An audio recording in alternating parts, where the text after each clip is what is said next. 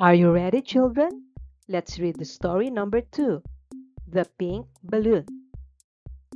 Lily had a bright pink balloon. She loved her balloon and took it everywhere.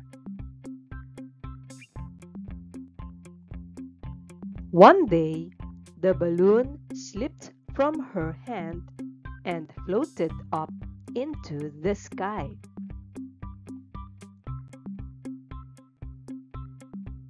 Lily was sad, but her friend Ben gave her a new yellow balloon and she smiled again.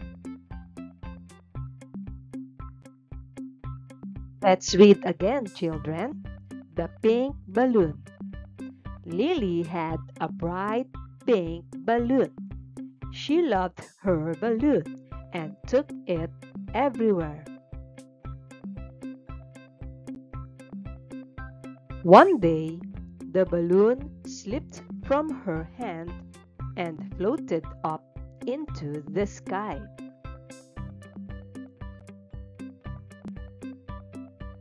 Lily was sad, but her friend Ben gave her a new yellow balloon and she smiled again.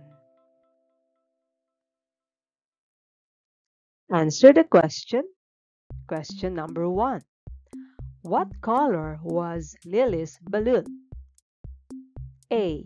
Pink B. Red The correct answer is A. Pink Pink was the color of Lily's balloon. You got a star. Question 2 what happened to Lily's balloon? A. It popped out. B. It floated up into the sky. The correct answer is letter B. It floated up into the sky. You got a star. Question 3. Who gave Lily a new balloon? A. Ben B. Jen The correct answer is A. Ben Ben gave Lily a new balloon.